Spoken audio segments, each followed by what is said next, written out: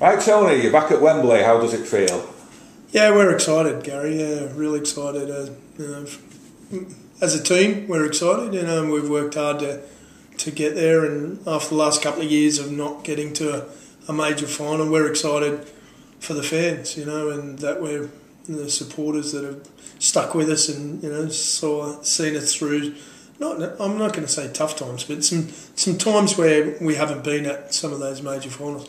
There's only two really, you know, major finals that everybody's competing for, and uh, it's hard. It's hard to get there each and every year, and um, I know once you get tastes of them, you want more of them, and we're no different as as coaches and players. Uh, we've we've been striving to get back, and you know, just got to the final hurdle a, a couple of times in the last couple of years when it comes to Wembley, and they're not quite made it, but. Um, uh, we we made it this time, and we're pretty comprehensive as well with it. Uh, I thought it was. Uh, Were you surprised by the margin of victory? Uh, I won't say surprised. Um, it's nothing that you can predict. Um, that's for sure. But uh, you know, I, I know we've got good try scoring capabilities as well as you know defensively. I think we missed seven or eight tackles in that whole match, um, which is pretty remarkable as well. So yeah, things went our way, but we made things go our way on the weekend. Um, we made our own luck, you know, and which and um, that's important. You know, when you work hard, you usually get a bit luckier, and that's what what happened with us on the weekend. And but uh, I thought we played our game plan as well as we've played any game plan this year, and we stuck to it. I'm going to say Wakey are a bit decimated as well with with some injuries, and which we have been at, at different stages as well, and you've got to be able to cope with that. But uh, it's it, it, can be tough if you've not got your best players out on the park. We're in pretty good bill of health at the moment as well, so we've got a great majority of our players, our, our top line players, fit and healthy at the moment, so which is a good sign for this time of the year. Just at the right time of the season, really. Yeah, you hope so. You know, you want them all year round, but uh, yeah, no, we're we're in pretty good shape. And have you got any injury concerns in particular at the moment? Uh, in, for this week, the only change we've got is uh, Ryan Bailey. He's got a bit of a uh, took a bit, bit of a bang to the knee. Should be only a week or two for Ryan, so he he'll be the only change this week. Um, Sammy Wilde comes into the squad. Uh, Sam was outstanding last week against St Helens in reserve grade, so uh, and Sammy comes back in. He played last time we played against Saints, so he'll be looking forward to getting another start again. So, no, we're not in too bad a shape. Um, you know, we've still got a couple of our longer term boys who, um, you know, Mitchell Dodds is probably uh, getting pretty close as well um, in the next month or so. So we'll he'll, he'll ramp up his training. So it'd be good to get him back at some stage. But uh, you know, we're we're you know we're in good good nick at the moment. We've got a few players waiting for their chance at the moment who aren't injured as well. So, you know, they're waiting in the in the uh, background. Now you've got quite a lot of new players in the squad since Warrington last went to Wembley. Mm. In fact, uh, I worked it out. There's only four players remaining in the squad from the last time you went in 2012. So you've quite a few youngsters coming through the ranks. Is it a, a tough job keeping them all focused on the job in hand because it's a short turnaround for Saints five days, big game because you, you want to finish as high up the league as possible. How difficult is it to keep them focused? Uh, hey, listen, is there distractions? You know, possible distractions, yeah, but they're real distractions and they're distractions that we want to have. You know, Wembley, there's arrangements. Honestly, you know, um, I can speak personally as well as on behalf of players. Uh, friends, family, um, long lost friends, you know, suddenly lots of new friends, new friends, and yeah, and there's just just general all round uh, arrangements that need to be made because it's not that far off. Oh. That need to be put into place and planning put into place. And uh, our approach has always been get in and get it done quickly and as early as you can, so we can get on with things. And and is it and can it be a distraction from? Yes, it can be, but um, there's times where you've got to deal with that and then just put it aside and get on with the next bit. So we're going through some of those arrangements and making some plans for what's happening down the track. But I'm pretty sure that the players are, are keen to get out there and do a good job against Saints. So um, is it tough having a five day turnaround? Absolutely. They've done us no favours. They're the people that schedule, you know, games, and I don't think they actually do the game that much of a service um, as well. But um, by giving you know some teams some short turnarounds, but it is what it is, and we're not going to make excuses about it. It's, it'll be tough, but we also feel that we're up for that challenge, and um, Saints are in good form at the moment. They've been one of the form teams in the last month after you know, scratch, scrapping their way into the, the top four, and um, you know we know how hard they can scrap. So, you know, we're going to be in for a scrap come Thursday. And you've got so many players now competing to stay in the team because they'll want to pull on that shirt at Wembley. And you know yourself from previous experience, one of the hardest jobs in the game must be telling a player he's not got the shirt. Absolutely, yeah, absolutely. Yeah.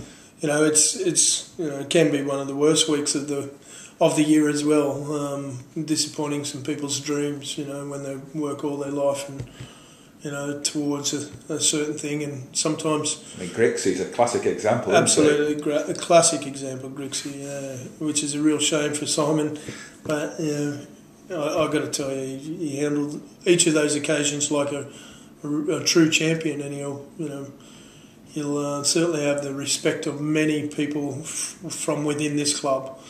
Uh, because of the manner in which he handles himself and handled himself at the time of either injury or disappointment of selection. So, you know, admirable. Um, and, you know, in some respects, that's, that's uh, you know, you could put that down to a, a greater achievement than, than winning any trophy. Um, when seriously, um, and people respect you in the manner in which Simon's respected, and it's probably uh, he he would like the opportunity. That's for sure to, to get out there and have a, a Wembley ring. But uh, at the same time, he's you know probably got greater rewards in, in terms of people's um, respect. that is your toughest job, would you say, having to say to someone they're not in the team? Yeah, no, absolutely. Yeah, no, it is. It's oh, you know, I've got to make selection and disappointments for on behalf of you know the the team. And but you always let your head rule your heart, or your heart rule your head. Uh, no, it, yeah, it's got to be logical and done for. There's no, you know, it, it isn't personal. Um, in terms of, I wouldn't pick a character in terms of I like him better than somebody else. You know, that's not.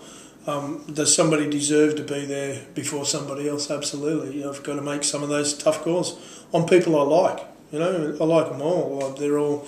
You work with these guys and see what they do every day, and you know you care about them. You want them to fulfil their dreams. Part of my job is to help them fulfil their dreams, and so if I'm going to somebody and saying, "Hey, you're not in this game," you know, in some ways I've failed them as well because I, you know, they haven't been able to to play as well as they need to, but in order to gain selection. So yeah, it's tough. It's in many respects, and I've spoken to other managers and coaches when they've led them to begin. Um, it's a problem that we we want to have. Don't get me wrong. Um, we don't want to shy away from having big games because you've got some of these difficulties um, of disappointing people. But uh, I've got to say, some weeks leading into finals aren't very pleasant, and they aren't very pleasant for for these sort of reasons and you know, and sometimes even post game you see, you know, most of the time people buy into it, but you know, you see some disappointments and some tears, and uh, it's it's hard for for people who you know strive really hard to fulfil their dreams, and um, for that not to happen sometimes can be heart wrenching. Yeah. But hey, listen, there's perspective with all this too. Um, you know it's easy to go not far down the street and see somebody not you know not as privileged as people who are sports people who get to play in big games or miss out on big games. There's you know there's many examples of people less fortunate than yourselves. And for anyone who might miss out on Wembley, there's always hopefully the chance of getting back in for the grand final. That'd be nice. Yeah, that'd be nice. Um, you know. Although we're looking far too ahead for that. oh, absolutely. Yeah, absolutely. Um, you know, we're not shying away from. We're in a ch- with a chance for uh, and a shout for all three trophies at the moment, and we're n- none of them are a priority over the other. Um, we're we're trying our best. We want to be league leaders by the end of the the Super Eights, and we want to you know earn our right to appear in the grand final. Um, we've made our way to Wembley, and we don't just want to compete at Wembley. At Wembley, we want to you know do our best and give it our best shot, and uh, against a team that we haven't beaten this year. So you know. Um, we're in there fighting. We're we all know what a boost Wembley and winning there can bring to the town. Absolutely, absolutely. Uh, they've been brilliant. You know, the Warrington people and our supporters, and you know, and it's a rugby league town. You can, you can see that. Um, you know, each of the my first experience was 2009 and coming back from Wembley and just seeing you know, town hall, but the streets littered with supporters and just incredible. Um, and it did. It showed me what it does mean to the town, and you know, and I've been able to see it uh, ever since. Uh, you know, each of the and and the pride that they have in their rugby league team, and uh, and and you know what it does for the town when the team's doing well. I can see, um, you know, it, you can sense it even when you're walking around.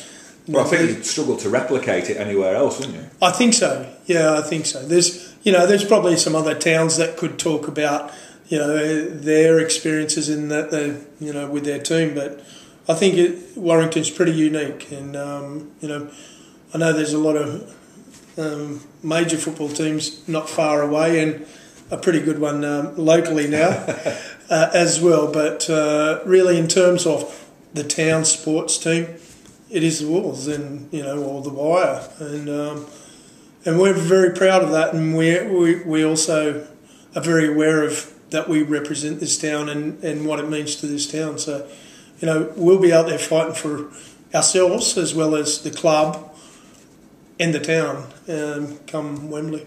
Okay, Tony. Thanks for your time as always, and good luck at Wembley if we don't speak before. Thanks, Gary.